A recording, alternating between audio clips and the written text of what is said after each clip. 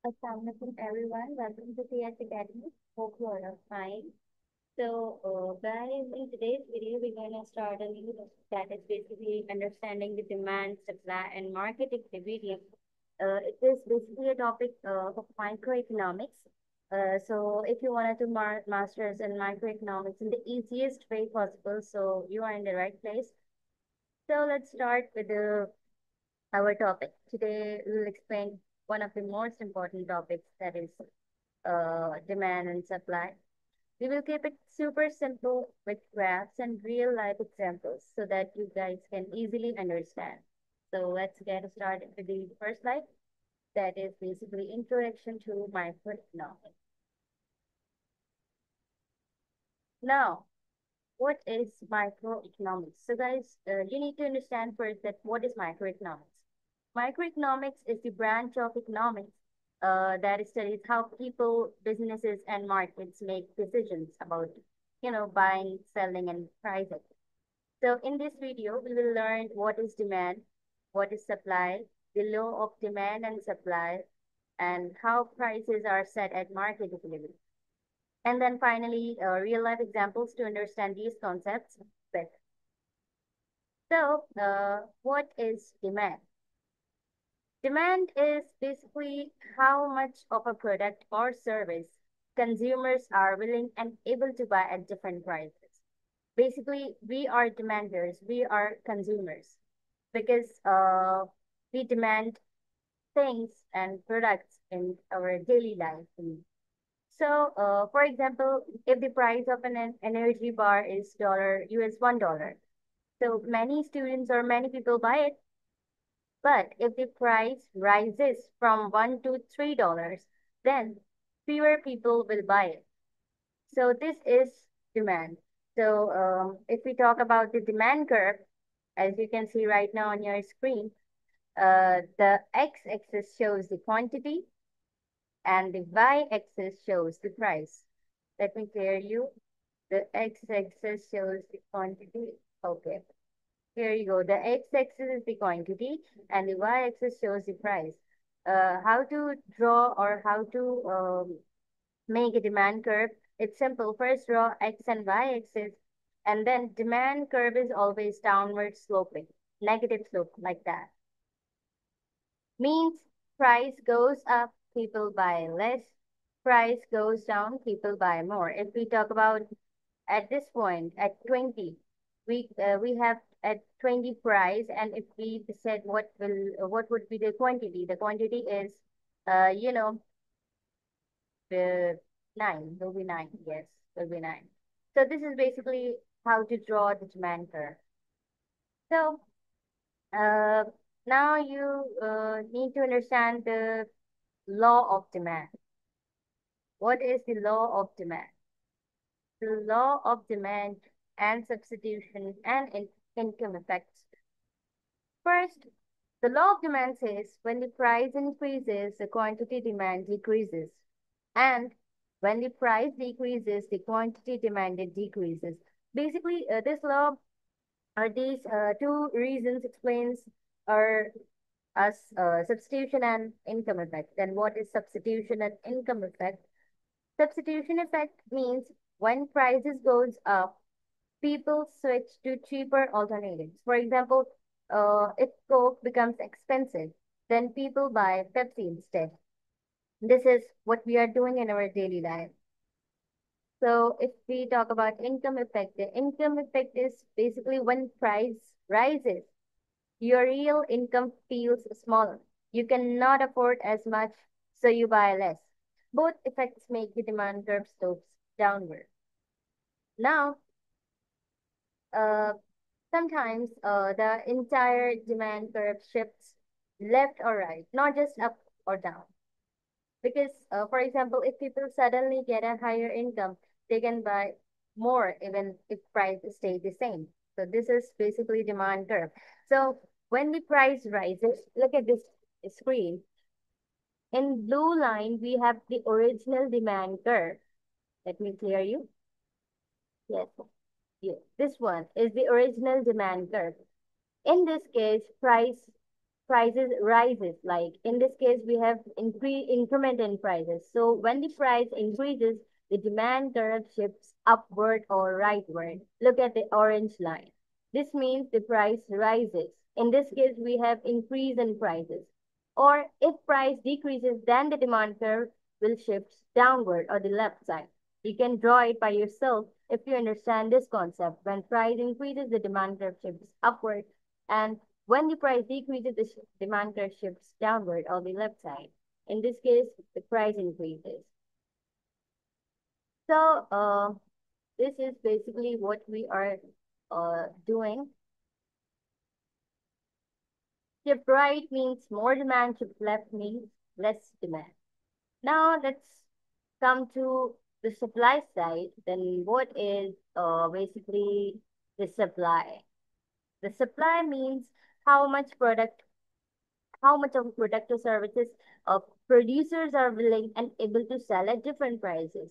For example, uh, if we talk about this uh, supply schedule, supply is simple. Uh, people demand things and the suppliers sell the things like goods or services, we say.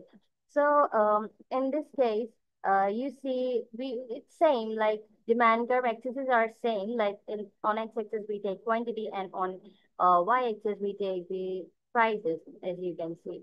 But the difference is the supply curve is always slopes upward. Look at this blue line. This is how we schedule or draw a supply curve. This is basically positive supply, positive uh, slope.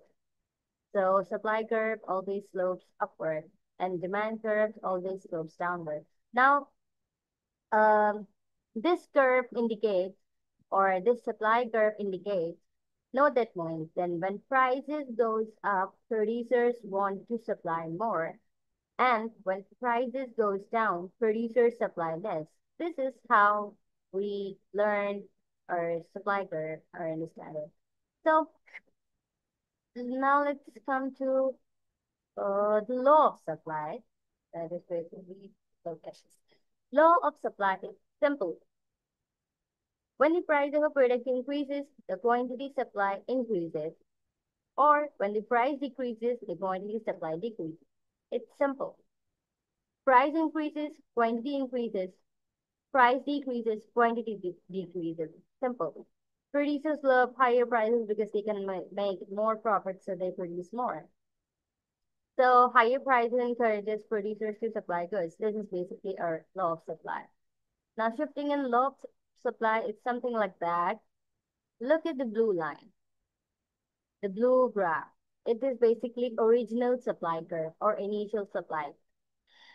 Now, what happens when the supply, uh, when the uh, supply shift downward or rightward?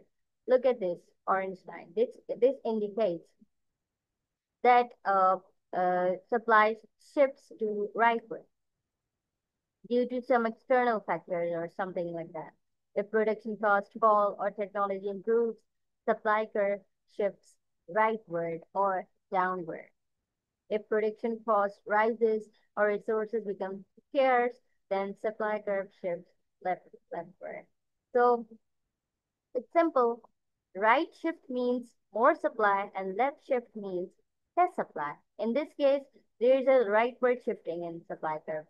So right shift means more supply, means supply increases when supply curve shifts rightward, and supply curve shifts down uh, upward, then supply decreases. This is how we um, this is how we understand it. So uh, now let's come to the market equilibrium. Once you understand the supply and demand and shifting, you need to learn or you need to understand the concept that is basically market equilibrium. Then what is market equilibrium? It's simple. Market equilibrium is where demand and supply meet. Simple. In this case, when quantity demanded equals to quantity supplied. So the price is stable, no shortage or no surplus. So in this graph, the point where demand curve and supply curve intersect is called equilibrium point. Look at this A. Look at the graph. This A indicates equilibrium point. Okay. So uh, you can write E or A, whatever you want. So I just write A here. But so supply at this point, we have equilibrium price that is 15 and equilibrium quantity would be 10. So this is simple uh, graph of equilibrium price and quantity. So now uh, let's move to understand the concept of shortage and surplus. What is basically, it's simple. You need to just understand it. If the price is set too high, the supply increases than demand or supply is greater than demand. This creates a surplus. Producers lower prices to sell their stock. So if the price is too low, demand is greater than supply. creates a shortage. So the graph shows the zone clearly above and below the equilibrium point. The blue line indicates the demand curve and the red orange line indicates the supply curve. Now let's come to uh, the real life example. Look at this. Let's connect to this to real life. Like for example, iPhones. When Apple launches a new iPhone, demand is huge, but supply is limited.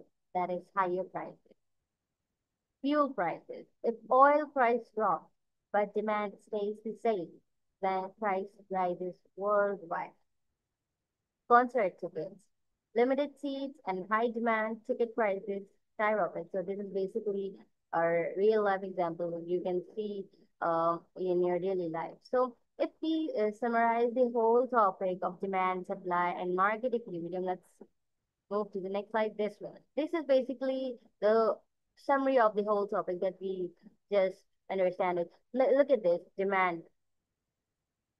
Demand is basically price increases, demand decreases. Supply is price increases, supply decreases. Or you can reverse it. Like here you can see demand, price increases, demand decreases. Or price decreases, demand increases. Now look at the supply.